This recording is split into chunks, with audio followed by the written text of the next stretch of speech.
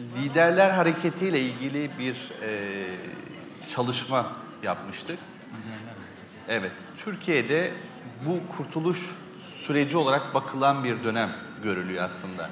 Muhalefet seçmeninin bir kitlesi kurtuluş hareketi hare- harekatı olarak yorumluyor. Yani kurtuluş mücadelesine benzetiyor. Atatürk'ün nutuku içerisindeki alıntılarla harmanlanan bir süreç. Türkiye'de liderler hareketine ihtiyaç olduğunu şahsen düşünüyorum. Bir araştırmacının dışında bir yorumdur. Ee, Bunları daha önceki yaptığımız araştırmalarda Türkiye'nin 81 tane vilayeti var. Bunların muhtarları var, o bölgenin kanaat önderleri var, şehrin önde gelen aileleri var. Buralarda oluşan liderler birlikte hareket etmesiyle bir güce oluş, güç oluşturabilir.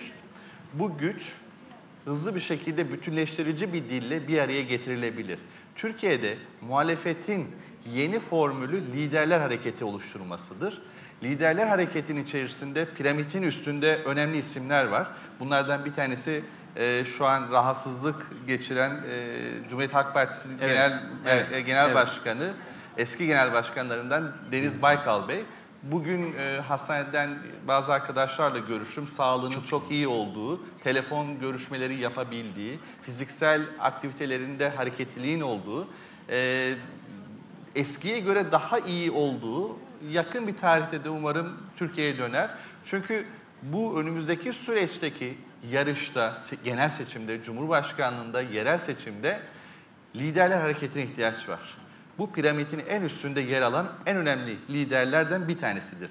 Deniz Baykal Bey bütünleştirici bir dile Tabii e, o kadar ihtiyacımız var ki onun bilge kişiliğine, Evet. yaşadığı deneyimlerin imbiğinden süzülmüş bir yurtsever aydın olarak dile getirdiği gerçekleri onun ağzından dinlemeye o kadar çok ihtiyacımız var ki buradan kendisine bütün güzel enerjilerimizi gönderelim.